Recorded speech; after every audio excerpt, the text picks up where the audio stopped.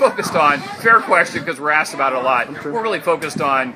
Uh, there's a lot of people worrying about this cycle right now, three weeks to go. We're helping many of our friends uh, in their efforts to be elected or to be reelected. I think are really quality folks. So we may we'll we'll take some time to think about that when this is over. But we still also see we have two strong years ahead to uh, to serve the people of Florida in the capacity that they gave us. So that really that remains our real focus. Well, I think he said some horrific things, and I don't I don't endorse those things. I think I, I would uh, condemn the things that he has said.